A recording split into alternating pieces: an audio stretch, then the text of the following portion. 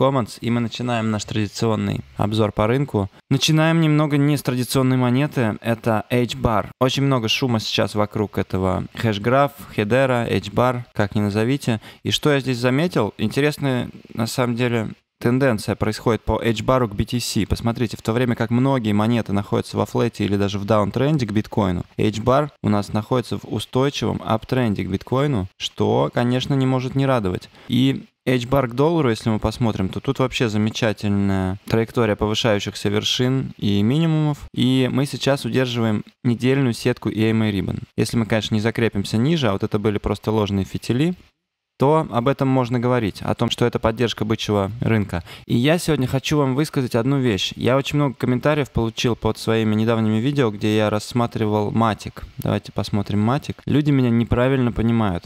Ребят, когда я вам показываю перекупленные альты, например, матик или там луну, или что-то. Я лишь говорю вам, что альт перекуплен. Когда я говорю, что возможно он пойдет вниз или что его неплохо пошортить хеджио со стопиком, потому что здесь белая точка, я не имею в виду, что это конец бычьего рынка и что это двойная вершина, когда я вот так рисую. Просто многие неправильно понимают. Я имею в виду лишь то, что этот актив уже выдал 10 тысяч процентов. Это с этим нельзя не считаться, ребят. Даже 11 тысяч процентов. Я говорю только о том, что на балансе вероятностей Лучше сейчас в долгую, в средний срок, в долгосрок покупать те альты, которые вот здесь лежат, и их даже не видно. Сейчас покажу, какие и ловить уже вот это вот все движение, чем пытаться впрыгнуть в монету на хайпе, которая уже здесь и может локально откорректироваться.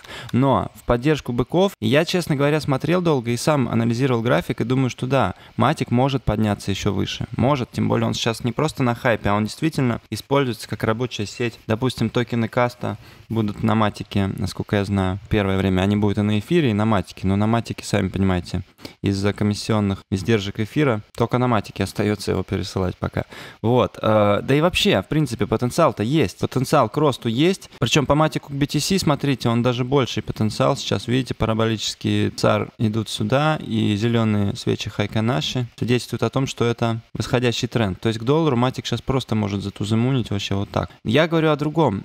Эти альткоины, перекупленные, на самом деле нам свидетельствуют о том и показывают, что рынок бычий еще не закончен у крипты. Посмотрите, как четко матик отбивается от сетки MA Ribbon, не прокалывая ее ни разу на недельном таймфрейме и отбиваясь все выше и выше. Сначала от нижней границы сетки, да, ну, от средней, средней-нижней, потом от средней, потом от верхней и сейчас уже вообще выше сетки. То есть на самом деле это то, что мы хотим с вами видеть в здоровом бычьем тренде. То есть если вы посмотрите на эфир, биток, как они развивались там перед пиком 2017 года, да, там в середине, в конце 2017 года, они как раз именно вот так вот отпрыгивали от сетки. И многие думали, что это двойная вершина, начинали шортить, и после этого актив улетал в космос. Понимаете? Поэтому я лично, если честно, даже немного более бычий настрой сейчас у меня, чем был. Вот по Луне тоже, посмотрите, Луна, конечно, может в любой момент очень сильно дипануть, но тем не менее, посмотрите, как она четко отбивается выше сетки MA Ribbon как она вот здесь четко ее удержала. Луна к биткоину тоже, посмотрите, четко-четко отбивается от верхней границы сетки MA Ribbon.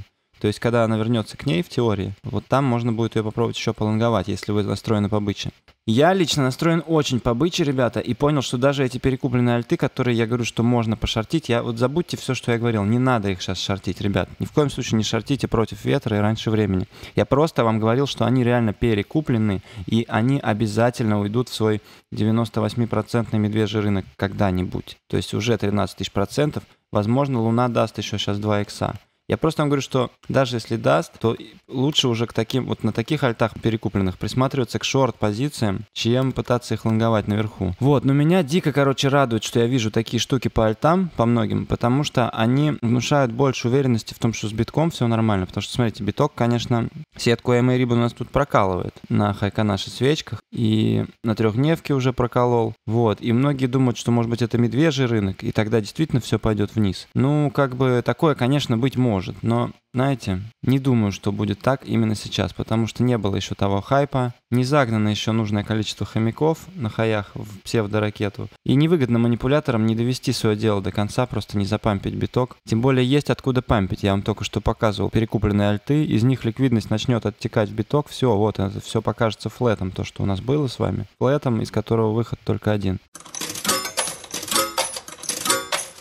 А также, чуваки, зацените проект ПКТ. Это первый в мире блокчейн на базе пропускной способности. Блокчейн ПКТ работает с использованием полосы пропускания и платит монеты ПКТ кэш каждые 60 секунд майнерам, которые подключают полосу пропускной способности к сети. Криптовалюта рассчитана на микротранзакции с общим объемом предложения 6 миллиардов монет. На добычу всех монет уйдет 63 года. Нет ни централизованного предприятия, ни компании, ни генерального директора, ни инвесторов, ни добытых монет. ПКТ разрабатывает новый стандарт токенов под названием Token Strike, почти нулевой стоимостью выпуска и почти нулевой платой за газ. Эта технология позволит любому человеку осуществлять токенизацию и продавать свою пропускную способность на децентрализованных биржах, DEX. Эта технология в конечном итоге будет включать смарт-контракты на почти нулевую стоимость, минтинг NFT и практически нулевую плату за газ. По мере того, как все больше людей подключаются к сети, она превращается в глобального децентрализованного интернет-провайдера, работающего на основе людей, которые заинтересованы в подключении к сети. Сеть ПКТ предназначена для того, чтобы люди могли попасть в интернет без оплаты традиционного интернет-провайдера. Первый вариант использования сделать его таким, чтобы любой человек мог монетизировать свое подключение к инету и получать оплату каждые 60 секунд. Пользователи могут использовать свой компьютер, сервер или мобильное устройство для монетизации подключения к интернету и поддержки подключения к сети ПКТ. ПКТ Network подобно кабельной компании, но без какой-либо компании, гендиректора или акционеров. Сеть управляется людьми, которые ее используют.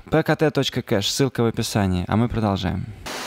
По альткоинам, что мне сегодня импонирует из старичков, так это лайткоин. Вот мы тут с вами рисовали этот гигантский падающий клин. Помните, вот этот канал накопления, в котором мы все еще находимся уже очень долго. All time low вот этот вот по лайткоину к биткоину. И посмотрите, что он сегодня делает. На недельном таймфрейме этого, кстати, даже не видно. Мы сейчас говорим с вами вот об этой маленькой зеленой свечечке. Но если вы включите часовик, на котором вы обычно торгуете, то по лайткоину у нас супер здоровейший тренд. Вот видите? Также мы удерживаем сетку Ribbon и отскакиваем наверх. Это лайткоин к биткоину, кстати, прошу заметить. Лайткоин к эфиру тоже Смотрите, как хорошо попер. То есть то, о чем мы с вами говорили. Перевод вашего эфира в Dash, в Litecoin, Bitcoin Cash вполне себя отыгрывает сейчас. Litecoin к доллару, соответственно, тоже показывает рост.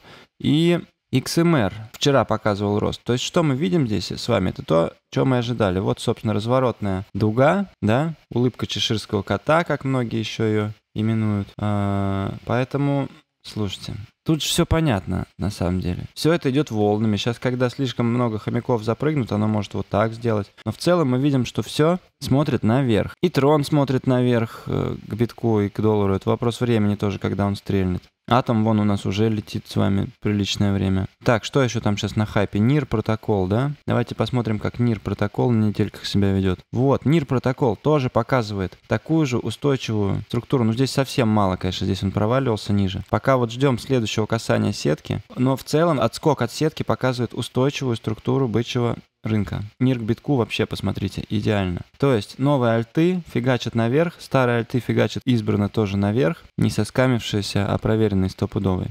Эфир классик тоже, кстати. Ну вот эфир классик на недельках выглядит по медвежьи. Если мы откроем четырехчасовик, то он тоже начинает вот разворачиваться. То есть вот чем нужны разные таймфреймы. Желтая точка на четырехчасовике на сайфере. Но на четырехчасовике она не, не особо, как бы вот три желтые точки, это уже, да, другой разговор. То есть на четырехчасовике первая желтая точка лагает еще, вторая уже близко к, к дну, третья, скорее всего, дно. И, как правило, мы закрываем первая желтая точка. Вот, собственно, на первой можно набирать, на второй, третий добирать, смещая среднюю цену входа в позицию. Но на четырехчасовике, еще раз говорю, они не всегда идеально отрабатывают. Вот, поэтому, друзья, придерживаемся плана. Биткоин кэш тоже очень-очень вяло, но после трех желтых точек на четырехчасовике начинает что-то там делать, и Ждем, короче, по нему очень сильного отскока. Соответственно, и к биткоину тоже. На самом деле, к биткоину ждем от него супер сильного отскока. Смотрите, желтые точки к биткоину. И к доллару он просто улетит сразу на несколько тысяч долларов тогда. Basic Attention. Ну, Basic Attention, кстати, хороший аптренд. Он все-таки ведет себя как новый альт, хотя он не особо новый. И может, на самом деле, очень неплохо иксануть в этом сезоне. Avalanche тоже показывают аптренд, ребята. Все альты, короче, даже старые, сейчас показывают аптренд на самом деле. XRP показывает W, вот только XRP пока даже не показывает аптренд. Dash тоже показывает W, первый заходной аптрендовый импульс. И сейчас тестируют сетку как поддержку. Поэтому, друзья, дисклеймер, не финансовый совет. Всем тузамуна, это был Гриня. Торговый стрим на Байбит замутим буквально в течение суток. И всем профитролей. До следующей встречи.